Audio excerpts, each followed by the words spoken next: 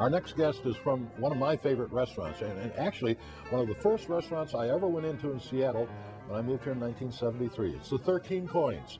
And we have Chef Doug Kenmir here doing a Caesar salad and a sabayon, right? Pretty close? Correct. Pretty close. Okay. Greg Cole from Seattle, you're, you're the nominator. What, what did you like about this dish in particular? Well, it's a hallmark of uh, what we've always ordered. My wife and I, even before she was my wife, we'd go in there and split a Caesar salad and either the chicken parmesan or the fettuccine alfredo.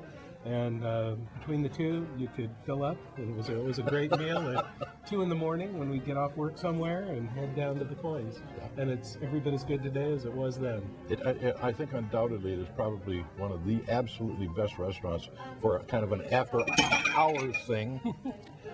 And I knocked that. See, it is, a li- it is a live show. You thought it was on tape, didn't you? No, it's not. It's live. This could be two in the morning. Okay, I'm going to ask you to step out here, Greg, and we're going to ask uh, Doug to go ahead and make that, and then we'll bring you back in and you check him out. I'll have to. All right, great. Okay. Doug, I think the sheer longevity of the 13 coins says a lot about the Yeah. quality Yeah. of foods and the timelessness of a dish like Caesar salad. So cool. Now this is actually a uh, traditional uh, salad made the traditional way, and uh, we've got just a few ingredients: some uh, chopped anchovy.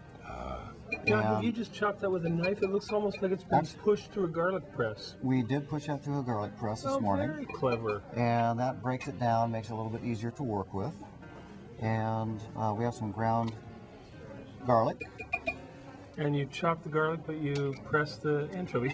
That's yeah. The the uh, garlic is actually uh, crushed and chopped finely. Now, Doug, can Smells people good. at home take some of the things like uh, a lot of folks have a problem with anchovies? Maybe go lighter on the anchovies. You can do that, and the other thing is is that if you uh, do not really like the flavor uh, of the anchovy or the texture of it, you can you can actually uh, put a little oil like I'm doing right now, Right. and uh, Just to And mush that it cuts it you together. want, you want to kind of paste it, turn it into a paste. So I see. Let me know if you want any other tool. I have a few things over here. this is actually going to work just fine. I That's what you like to use. Yeah. Good old-fashioned wooden spoon. You can't beat them. It's uh, we we've been using these for 30 years in the restaurant. Is that right? Really the same They're spoon. well seasoned then. Well seasoned. It's kind of like those salad bowls that take on the flavor Exactly. over time. Okay, now we have a little bit of dried mustard, and I'm that can be kind of a uh, a powerful uh, flavor if you use too much. but a nice touch. And I don't see an egg here. Am I just Uh, missing the it? egg or- is going to have to be pulled out by George in the Okay. back. There's a a single egg back there. And this is simply um, raw egg, Simply raw egg. and it's not coddled or anything. It's not it's not coddled. It's raw. And people who are nervous about raw eggs, could they use just maybe a quarter cup of pasteurized egg? They they actually could. And if you're freaking out about cholesterol, maybe you could just use egg white. Would that still work? Uh, egg white, uh, I don't think that's going to be the best thing to use. Okay. So if you use a pasteurized, or I really don't know what another substitute would be for that. But There, when I was a kid and I was, um, I lived with some vegans. I was a vegetarian. There used to be this stuff called Jolly Joan egg substitute. So I guess if you really wanted to get extreme, you could. There's, there must be something out there. Yeah, there's somewhere there's some Jolly Joan. I'll talk to the soy yes. commission and see what they have. But Okay. the egg is such an integral part Yeah. of a if, of a classic if you do salad. not have the egg, then it will not hold together. it emulsifies everything. Yeah. Now, would you, I don't really understand really these egg beaters that they talk about. Would that be a substitute? You could actually use an egg beater. Okay. Interesting. I bet that has the lecithin. Lecithin is the chemical, George, that binds liquid and oil together. They say oil and water don't mix, but they never met an egg. or, or the lecithin. You know, I'm using fresh lemon juice, Fresh squeezed lemon juice, red wine vinegar, red wine vinegar. equal uh-huh. parts. Now remember, all these recipes are in your, in the menu, in the book, and you can adjust some of these, these according to the taste of the family. I would assume, you know, to, I wouldn't adjust this much, so It looks like a pla- Doug, Doug, tell me about the story of Caesar salad. Well, I believe that it started off in uh, Tijuana. I believe you're right. Really? And I recently was, did some research and on that. it was a, uh, the way I heard it was uh, they were in a restaurant down there in Tijuana and wanted to make a new salad and they went to the refrigerator and they brought everything in the refrigerator out and, and made the Caesar salad. like so that. many things. You know, it's interesting. Um, in recent years, I've heard a little twist on the legend that Ah. they were out of their regular ingredients because uh, Seabiscuit had raced in Tijuana and the restaurant had been mobbed. So who knows? Yeah, I'll bet. But I, I do note that I'd, I'd never heard that story before Seabiscuit became the big movie, and Yeah. so who knows the way these urban legends go. So what are you doing there? You just Now, got some. Some uh, ground Parmesan cheese. Now you use domestic Parmesan or the Reggiano, just the domestic. It's a domestic Parmesan. Probably what Caesar used in Tijuana. If they actually had a domestic down there, they may have used, you know, Mm-hmm. probably almost any kind of cheese, but I think it's migrated to Parmesan. This is Oh, a wonderful ratio too of dressing to green. When you're cooking, Just lean enough. over it and, and enjoy. I don't know why I'm doing that all the time. But George, I, will you quit banging I- stuff I around? know. Let's let this man play. I up want some you to know I haven't broken anything yet. yet. Oh, and the croutons. Can't forget the croutons. And yours look simply baked.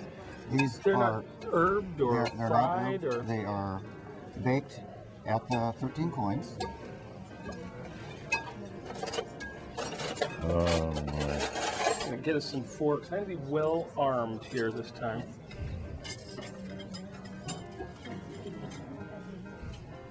And that's the authentic 13 coins plate there. Are there actually 13 if I count them? Uh, not on that. particular plate.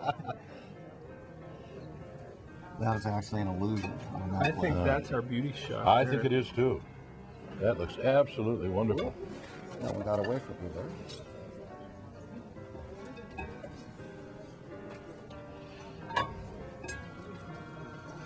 You know, for as good as George, that are ready Caesar for salad this? is, because I've had the Caesar salad at, at uh, 13 coins, uh, it doesn't take that long to put together, It, does re- it? it really does not. It's a very simple salad. Like so a many few things ingredients, in life. but classic. Simple and classic. I have just Oh, a bite Greg. of this. Get in here. we still got the souvenir to go, right? You know, Okay. I, that is I'll so save good. this for you. Okay, one of my favorite things. Really good. Hmm. Okay, and now hmm. moving hmm. on to the sabayon. Okay. And I have. Let me have. clean some of this up for you. Oh, okay.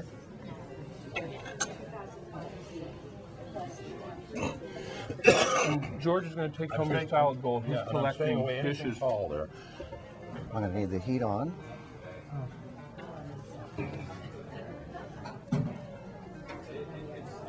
Thank you, sir. Okay. Thank you, And Greg. Sorry about that. okay, that is the sherry. That's the sherry. Sure. I almost didn't see it there. Now you use sherry. Sometimes people use muscat or sweet or uh, Marsala wine. late or- harvest Rieslings. Marsala, yeah, that's a classic. And that was sugar. That is sugar. So so far we have egg yolks, egg yolk, sugar, sherry, and, sugar. Yeah, it's a very simple. So they're going to be whipped together, and now I'm going to need some heat. Let's talk about the copper. Yeah. The uh, Do you want a high burner, low burner? actually uh, that Medium? that heat right there is going to be good. The Copper gets Uh, pretty hot, doesn't it? The copper really transfers the heat evenly. That's why uh, copper is used. I love the shape Yeah. of that pot. I do too. too. The uh, it's nice and deep, and as you're whipping it, Now gets let the me know air. if you want me to whip. I love to whip. We're flipping, getting the air in there, and it looks like nothing's happening until right at the end. So Doug, if um if someone didn't have the stamina that you have, could they hold an electric mixer into the bowl? Uh, yeah, I I don't think that's going to work. The uh, an electric might uh, turn it into scrambled eggs or something like that. And Interesting. what you're trying to do is just for you to get air in it and bring it up. I'm just dying to And get it's my doing hands on nicely. it. and it looks like we're getting some loft, some foam, Some foam, yeah. Increasing in volume. And so far, I don't think it's very hot because I can't smell the sherry. It's going to start coming out. Now tell me if I'm imagining this, but I, I think there's something chemical going on with the copper. Does it react with the egg Is, does it make it more acidic? Well, that's Are a there good question. I'm not really sure. If, because uh, I've tried this in pans that weren't copper and it was more challenging. Really? I think probably the thing about the copper is the even heat. If, if, even It's- heat in it, heat it conducts the distribution has got to be a big part of it. Yeah. But I know when you're beating egg whites too, when there's no heat involved, I get better loft from a copper bowl. I think there's something going on there. It's starting to happen. That looks wonderful. Starting to come together. Wow. It's delightful. Mm, look how that's thickened up. You're torturing me though, Doug, because my favorite thing is stirring. I feel like a little kid again. Mom, please let me stir. But I can see you've really got a good motion You're going. doing, you're doing a good job there. Isn't that gorgeous? It's wonderful. Guys, we started out there with a very thin solution, really. Really thin, And, And- look how it comes out here. Look at that. quite custard-like. Yeah. Now, what would you serve this with, Doug?